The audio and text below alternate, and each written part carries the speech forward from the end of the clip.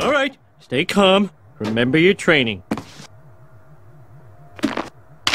Dear Homer, I owe you one emergency donut signed Homer. Bastard! He's always one step ahead.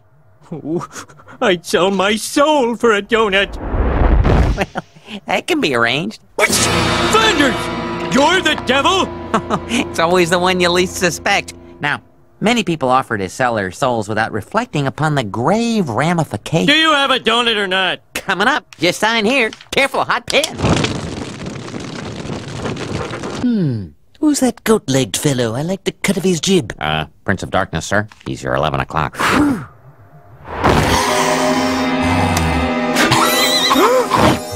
Now remember, at the instant you finish it, I own your soul for.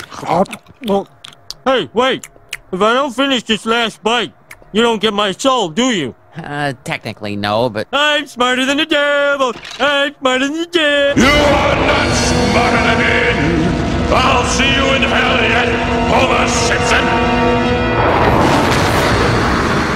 Not likely.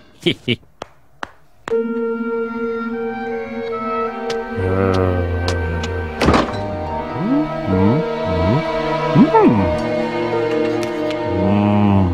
forbidden donut.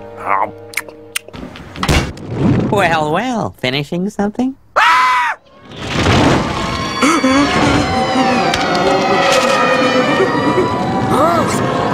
Homer, did you eat that donut? No. Uh, your wide behind won't save you this time. Hey, Bart. Hey. Wait, doesn't my father have the right to a fair trial? Oh, you Americans with your due process and fair trials. this is always so much easier in Mexico. All right, very well. We'll have the trial tomorrow at the stroke of midnight. Till then, you're going to spend the day in hell.